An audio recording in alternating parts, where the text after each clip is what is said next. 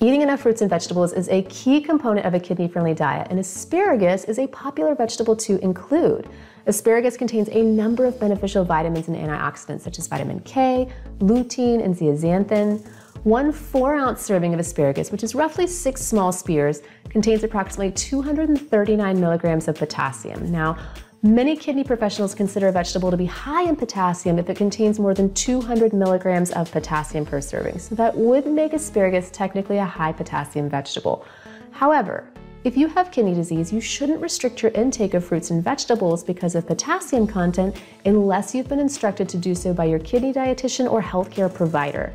Many people who have kidney disease do not need to restrict their intake of potassium, and there are many other factors that could cause you to have high potassium levels that are not related to the food you eat. And if you want to take a deeper dive into why you shouldn't be restricting your fruit and vegetable intake and what else could be causing those high potassium levels, then I highly recommend that you check out our online course on the CKD diet. I'll include a link in the description of this video.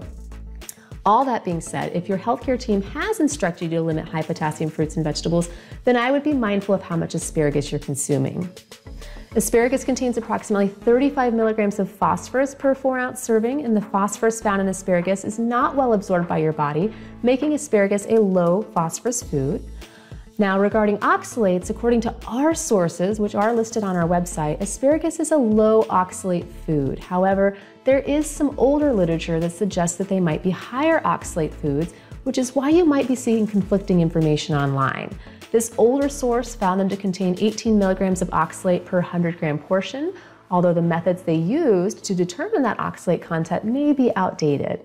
So if you're prone to kidney stones and trying to limit your oxalate intake, we consider asparagus safe to eat.